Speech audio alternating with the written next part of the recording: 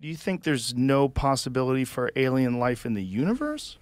Have you ever heard of the Drake equation? Yes. Yeah. So the Drake equation is essentially a parameterization of our of our ignorance about certain things in the in the universe, and we've kind of checked off seven of the terms and the eight terms of the Drake equation thanks to new technology, thanks to new telescopes. How many stars have planets around them? How many total? But there's a couple terms in there: the lifetime of a civilization and a certain fraction of how much that civilization can dedicate its energy or what have you towards broadcasting its presence, right? So for us to know that they exist, they have to exist. They have to have made technology for us for them to exist, and they have to exist in the first place. So how many of such objects are? That's what the Drake equation's uh, really parameterizing. Now I propose that you should be able to do the following thing: if there's life in the universe, just life, slime mold, I don't care what it is. Okay you should be able to set limits on it in the following sense. And, the, and I'm, what I'm going to do is do a reductio ad absurdum. I'm going to prove, I'm going to motivate, hopefully I can't prove, but I'm going to motivate the illogic or of, of suspecting that they're extraterrestrial intelligence civilization. Okay. okay, here it goes. I told, let me just tell you, um, my colleagues discovered that there's a planet and it's around a star that's just like our sun. And it's next to another planet and that planet's full of life. And the other planet's almost identical to that planet. It's it's almost the same size. It has a day the same age, the same length as the day of the planet that has just rotten with life. It's crawling with Kardashians and slime molds and whatever, right? Okay. So it's, it's out there. Just like us. Yeah.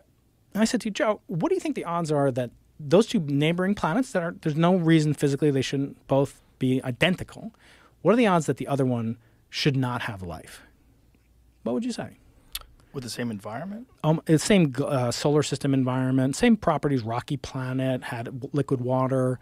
It has an atmosphere. It has a magnetic field. You know, has all sorts of things. I would think it would be more likely that it would have life. Very likely. It yeah. would be extremely likely.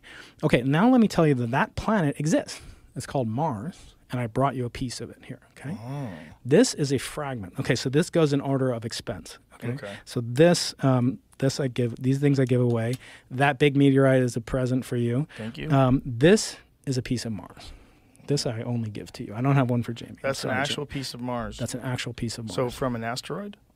So what happened was uh, the Earth gets hit by meteors, mm-hmm. right, all the time, and uh, but so do all the other planets. Sometimes some of that material from Mars gets impacted. Imagine something that big that Jamie showed before slamming into. It's going to eject it from the surface of Mars. That's mm-hmm. going to orbit in the clouds of Mars. Is eventually going to get outside the atmosphere of Mars if the impact is great enough, carrying some of the debris, the surface, the crust of Mars, etc. And that will then percolate throughout the solar system for tens of millions of years, perhaps, until the Earth smashes into it and it lands. In this case, it landed in Africa. That was recovered from Africa. Um, that little third of a gram is a mm. slice off a bigger chunk, okay? Um, and not only does that piece of Mars doesn't have any signature of life on it. And we've been to Mars, we've stuck probes into Mars. Mm-hmm. We have a helicopter, freaking helicopter flying around on Mars right now. It's insane. Um, we don't see anything. Now, that doesn't mean that life didn't exist there before. It doesn't mean that if we don't fly into a lava cave, there won't be. But it, does it not say something this is called panspermia. It's mm-hmm. something that sounds dirty, but it's no, not, right? I know the term. Yeah. So so we exchange material, and actually, Sir Fred Hoyle, the guy who came up with the idea for the name the Big Bang, uh, he actually believed in the steady state model. He believed that's how life was seeded on Earth. The fact is that we've been exchanging material for literally billions of years, from mm-hmm. when the mm-hmm. Earth was, you know, just bacteria and Mars was flowing with water. We know Mars was was rich with water now, the fact that we don't see any, is that proof it never had? Absolutely not. But I'm just saying it's a piece of evidence. And that evidence is very hard to come by, right? It's hard to prove a negative, right? It's hard to say that like Mars definitely never had life. Can I stop you there? Yeah. How much detection do we have? I mean, how much technology is currently on Mars that's looking at signs of life? There have been um, probes since you know Viking and, and so forth. How many of them are capable of detecting signs of life other than like physical? All of them things? have had some capability for precursors to life. In other words, some have been able to detect water. Some have had spectrometers that could detect gases. Right. so, like, how many of them are landed? Uh, probably fifteen or twenty. And Mars is what is it? Uh, how much smaller than Earth? It's about a it's a little yeah, it's a little bigger than the moon, but a, yeah. little, a lot. So it seems like a lot of space that we didn't detect things on, or didn't even right, but visit. but isn't that the converse of the uh, usual argument that I hear? There's there's hundred billion stars in the Milky Way. Mm-hmm. Um, many of them are like the sun. There's hundred billion galaxies or more like the Milky Way. So it's hundred billion squared. Right. The universe is 13.8 billion years uh, old. So what are the odds? So usually astronomers will say we'll do calculations uh, a following way instead of like asking what's the probability of of that. Um, you know, for example, I've I've been to Antarctica twice. I've been to the South Pole, which is you would just be bored out of your mind probably because all it is is like going out into the middle of the Pacific Ocean and freezing it. There's nothing to do there. The coast of Antarctica is really cool. So this is a rock from there. They have like volcanoes there. That's not for you, but that one I got to take back because that cost me fifty thousand. That cost you, the taxpayer, fifty thousand. Wow. But this you can keep. This is from the South Pole's gift shop, Joe. Oh, That's a patch from the United States. We have such cool freaking scientists, man. Uh, Our country and the world. um, I just I, I heard cool. something. I was like, I wonder if Joe knows this. Um, it's totally random, but just like how cool is freaking science? It's pretty cool. Do you know they can measure? and I'll get back to your question in just a second.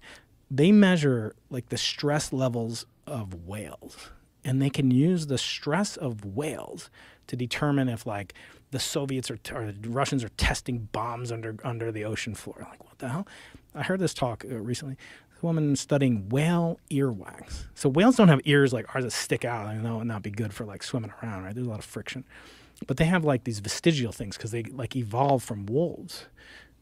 I always thought like stuff came out of the water and that whales evolved into wolves. No, no, they think that wolves turned into whales. Really? yes. Wolves? Yes, I don't know. This Jamie Hatzfeld, because I am a total ignoramus, but this is a going theory that Oh whales evolved from wolves. So, like most mammals, they have ears.